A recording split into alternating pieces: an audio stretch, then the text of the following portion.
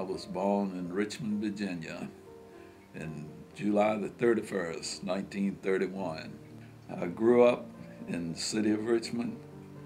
I worked all around Chesterfield and Richmond, and the whole thing in a nutshell, I was born, raised, worked, and retired within a 10 mile radius of where I'm living right now in Chesterfield County. My wife and I went to the same elementary school. And one year, they had a Christmas pageant, and we both had a part in it. My wife was in the third grade, I was in the fifth grade, and we all were in this student in this teacher's class to uh, practice and get our parts all ironed out. Everybody had a seat except my wife Carol, and so I told her she could sit on my knee and scared her to death. Uh, but I must have been a slow learner because all of that took place in the, uh, when she was in the third grade, and it took me to high school before I noticed her again. But it must have worked out pretty good because we got married in uh, October 2nd, 1953. So we've been married, what, 58, 58 years. And I think I did pretty good. Couldn't, did a, couldn't have done any better. And I got three kids and very nice children and got two sons and a daughter. And we love them dearly. And just a good family. I got grandchildren. I got uh, four grandchildren and four great grandchildren. So life couldn't have been any better for us.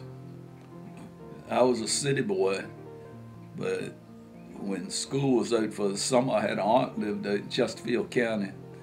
She had chickens and uh, gardens and the things that country people have. I would go out the day. School was out for the summer and stay to the day before school started in the fall. And it was other country children out there that I made friends with, and uh, matter of fact, they were dear friends. And we'd do our chores during the day, and after lunch, we'd head to the creek, Falling Creek, and we'd go down there and swim. As a matter of fact, that's where I learned to swim. The summers were really fun. Gathered eggs, work in the garden a little bit. And my uncle, he worked the night work, uh, worked shift work. Her and I used to play rummy. They didn't have any children. So we'd play rummy at night and just do different things that you do. And it was really enjoyable. It was a good childhood. It was better than staying in the city for the summer A whole lot better.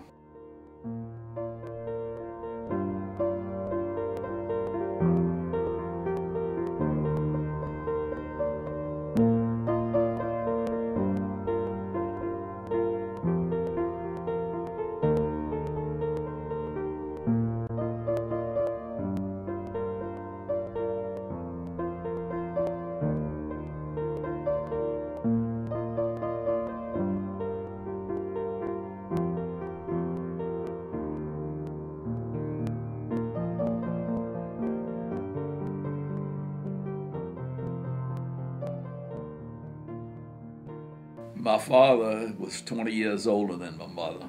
My daddy was born in 1888 in Brunswick County. And he was a weekend alcoholic. He worked every day. Everybody thought a lot of him. But when the weekends come, he had to drink. And most of the time he drank heavy. He didn't have an automobile. He didn't have own a home, and he provided for us. And I don't know how much he contributed to our well-being, but we ate good. And the house was clean, and the beds were clean. Had plenty of food, but he didn't own anything that contributed to his retirement. And as he got older, I think he realized that uh, with a mess he had made of his life. And as time went on, just before he got ready to retire, he ended his life. And I looked at him and made up my mind then that I wasn't go raise my family in an environment like that. And so far, I haven't done it. My daddy was a weekend alcoholic, but during the week he worked every day. Was well thought of. His bosses, neighbors, anybody had any contact with him thought a lot of him. But on the weekends, when he'd get to drinking and get drunk, he was hell on wheels. He just raised Cain all the time. And most of it come because he was of alcohol or of money. And a night, I'd be on my date before I was married. And my mother would call me to come home because he was raising Cain or have a gun pulled on him. We've had a, the shotgun pulled on us more than once. And when he was drinking, he didn't like me because I took up for my mother and protected her. And that was a scene that I didn't want to live through any more than what I'd already gone through. And like I said, when he was sober, you couldn't find a nicer guy. But when he was drunk, you couldn't find a bigger hellion. And that's the way my childhood went, and that's the way my adult life went, all the way until he passed away. I've been home a night where my mother would call me and tell me to come home. He had a gun on him. And I'd go home and Dad would be. As soon as he calmed down and had the opportunity, I'd take that gun, take it all apart, and hide pieces in every direction so that he found one, he, he'd have to find them all to get it put back together. And that was just some bad memories in my childhood and in my adult life. When we were dating, uh, my husband never really talked about his dad much because he was afraid probably that my mother wouldn't let him keep coming around and dating me if she knew he was an alcoholic.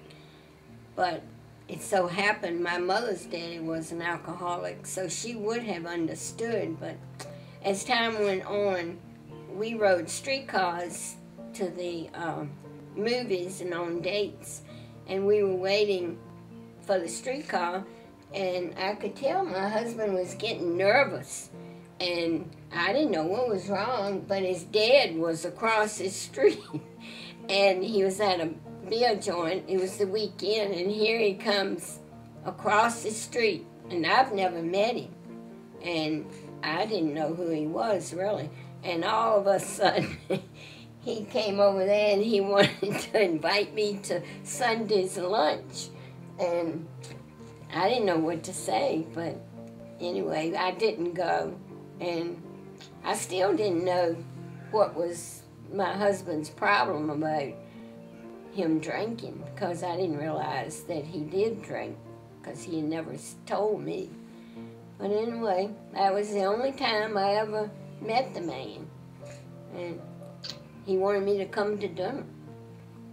He stressed whenever you give somebody your word, you make sure you keep it. Because that's the only thing that you have is your word. And I tried to do that, and I, I, I try to do it to this day. Is if I commit myself to something, I try to stand by it. and like I say, he was a good man when he was sober, but alcohol would send him in the wrong direction. Back in those days, most all the old men drank and hung out at the beer joint.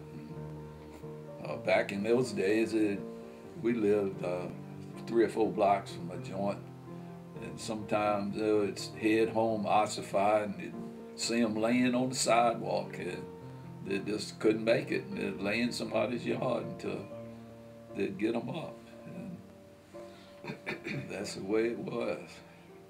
And is all right, but it's not to that extent when they got a drink like that. It's not a good.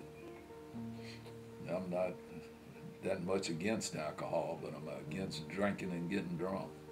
As a child, my husband had a very uh, hard time accepting the way his father would treat him. But it was due to the alcohol. And one time he broke a, um, a glass bottle and chased him up on the roof. And that traumatized him for, for even till today. He has a hard time talking about it.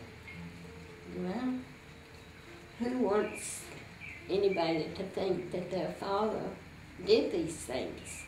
He was a child. He couldn't have any control of that. But he still was ashamed of it and didn't want anybody to know about it. But that's part of life. He couldn't help it. He was a, a victim. He went to the hardware store that day and he was a man that joked a lot and everybody knew him and this guy said what you gonna do with this rope mr browder he said i'm gonna go home and hang myself and he said oh sure and thought he was joking well he wasn't joking he went home wrote a note don't come in the attic and that's where they found him. He was he hung himself. And my husband has a hard time talking about this right to this day. But anyway, it's better than it used to be, but it bothers him. But he's a good man and I don't have any any complaints at all. He couldn't be a better father or husband. Um, to anybody. He's just a good man.